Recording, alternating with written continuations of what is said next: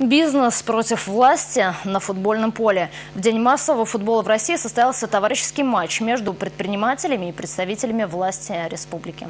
В красно-синей форме представители власти, в чисто-красной их соперники – предприниматели. По результатам жеребьевки команда власти получила право первого мяча. Предприниматели смогли выбрать себе ворота. Спустя несколько минут после начала игры именно в эти ворота стали влетать мячи. Опасные моменты возникали у ворот сине-красных. Ситуацию спасал ныне начальник отдела молодежного и общественного развития администрации Чебоксар, а в прошлом футболист Эльдар Черкесов.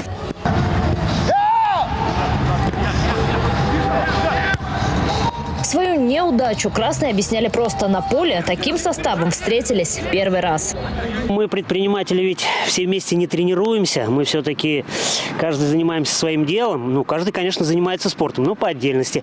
А я так понимаю, команда соперников, она постоянно занимается спортом. И, видать, хорошо футбол играет. Но я тут смотрю, пару игроков есть и со сборной Чувашии.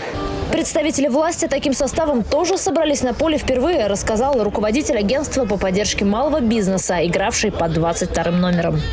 Каково это поддерживать бизнес и играть против него сегодня? Власть оказывает всестороннюю поддержку бизнесу. Матч проходит очень динамично и интересно. В перерыве, на который ушли со счетом 3-1, в команде представителей власти царило приподнятое настроение. Как ощущения от матча? Самые только положительные, самые хорошие. Мы чемпионы!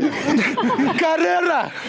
Мы реализовываем просто свои моменты, а соперники не все моменты реализовывают. А игра, в принципе, равная. Ну, чуть-чуть преимущество у нас. Смотрите, мы сегодня видим очень многих людей с такой щиты, с щетиной, с легкой небритостью. Это примета такая небритость? Но футболисты перед важными играми не бреются.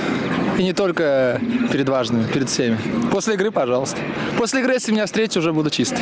То ли приметы не сработали, то ли красные под конец сыгрались. Окончился матч со счетом 5-5. Как ни банально, товарищеский матч закончился победой дружбы. Кстати, во время съемок ни один оператор не пострадал.